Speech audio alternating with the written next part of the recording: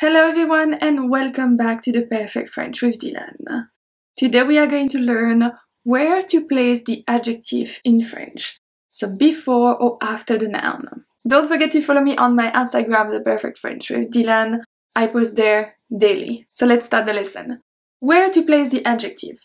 So if you haven't watched my two videos about adjective, I have two, I have 50 everyday adjectives and then I have the rules for feminine, masculine.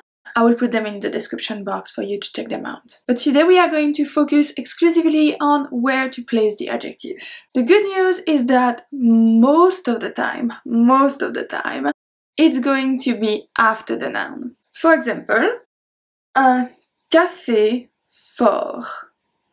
Un café fort. So fort is the adjective. A strong coffee, okay? Un café fort. Second one. Une fleur blanche. Blanche, it's the adjective. Une fleur blanche after the noun. Third one. Une journée agréable. Une journée agréable. A nice day. So that's for when we place the adjective after the noun. What about when we place it before the noun? You know that French is all about exception. The place of the adjective is the same. It's all about exception as well. But I have a little trick for you to remember is bags. B stands for beauty. A stands for age. G stands for goodness. And S stands for size. And I usually go a step further and I say bags, one, two, three. Because when we count, it's also before the noun. Let's see some examples for each.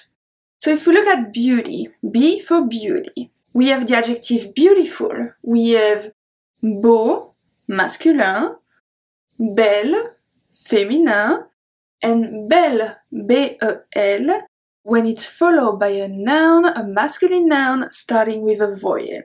So that's for beautiful. Then we have jolie, which is pretty. Jolie with a E at the end, my E, not your E, for a masculine noun, and then we have jolie with a E for feminine noun. If you want to know all the exceptions and all the rules for masculine, feminine, for adjectives, go back to my video about the rules. It's in the description box. So let's see too. Une belle femme. Before the noun. Une belle femme. A beautiful woman. Another one. Une jolie robe. Une jolie robe. A pretty dress. So that's for beauty. Now, what about age? A for age. So here I listed three different very common adjectives for age. We have vieux, vieille, and then vieille again with only one L. So that's for a noun that starts with a voyelle, but it's a masculine noun. So vieux, vieille, vieille means old. Then we have nouveau, nouvelle, nouvelle. So nouveau masculine, nouvelle féminine, and nouvelle with one L, masculine noun starting with a voyelle. It works also for the age. But I'm not going to go back into all that. Go watch the video if you don't remember it, okay? And then we have jeune. Jeune for masculin, féminin, which is young. So let's see two examples. Un vieil arbre. Un vieil arbre. An old tree. Un vieil arbre. Second example. Un jeune garçon. Un jeune garçon. Now let's move to goodness. G, my G, for goodness. Goodness, or let's say badness as well. The first one, bon, bonne, good mauvais, mauvaise, bad, meilleur, meilleur, best, gentil, gentil, is kind. First example. Le meilleur moment. Le meilleur moment. The best moment. Or, une mauvaise idée. Une mauvaise idée. A bad idea.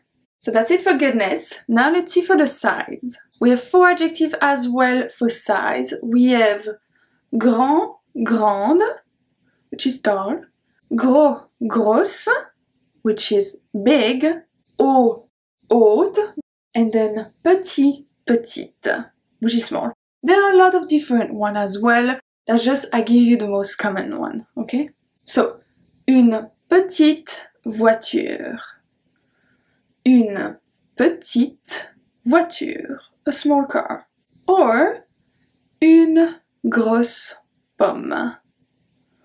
Une grosse pomme. A big apple.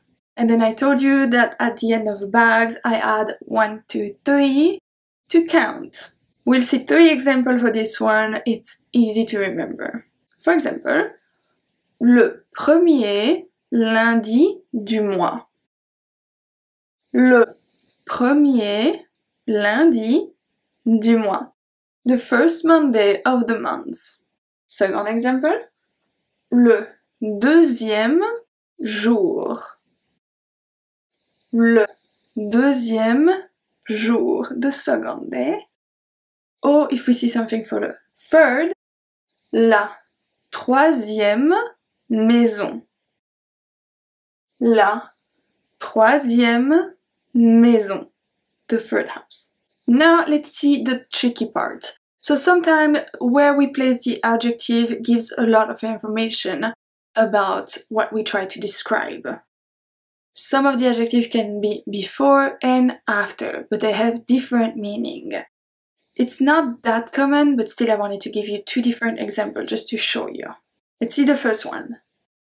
La semaine dernière. La semaine dernière. Which means last week. So, la semaine dernière, uh, j'étais malade. I was sick last week. Last week, I was sick.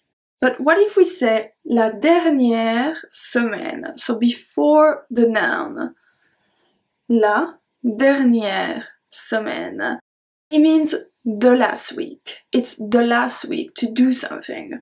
The last week to uh, enjoy the weather, the last week to send your application, okay? La dernière semaine. Last week to do something. Let's see another one. Ce pauvre chien. Ce pauvre chien. This poor dog, this miserable dog. Pauvre chien. But if we have it after the noun, un homme pauvre. Un homme pauvre. That means a poor man, a man who doesn't have money, etc. So the meaning can change sometimes depending if it's before or after the noun. But most of the time, remember that the adjective is after, and for bags one, two, three, it's gonna be before. That's all you need to remember. So that's it for today. I hope you enjoyed. I hope you learned something. Don't forget to subscribe and like this video. It really helped me. And I will see you soon for another lesson.